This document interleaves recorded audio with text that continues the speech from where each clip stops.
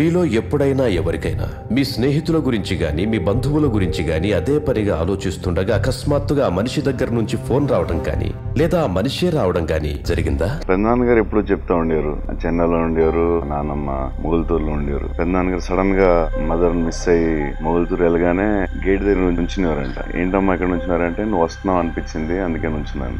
Do you think it's a pure coincidence no it's not a coincidence